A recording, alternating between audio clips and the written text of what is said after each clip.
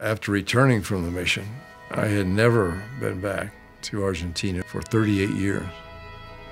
Came home, as you say, went to school, married, had the family, had my career in law, and, and uh, never had occasion at all to go back there.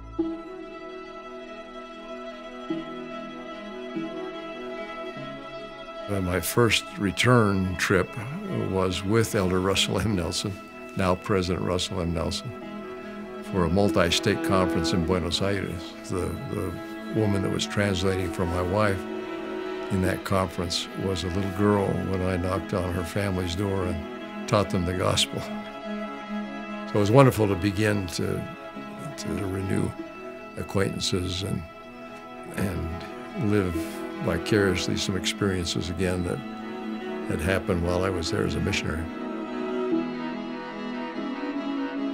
And so that was, you know, I thought when I left, I've done something worthwhile and probably never see this place again, but, but it was a, a maturing and a, a, really rich experience for me. Now, uh, I think of coming back these years later, um, having been at the dedication of the first chapel, now to be there for the dedication of the temple.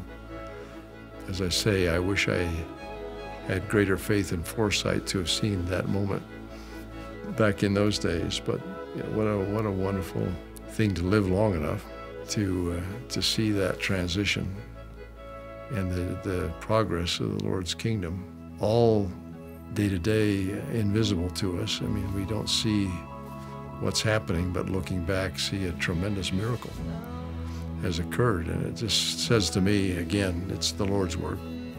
He's making it happen. He's doing the work for the most part. We get to help around the edges.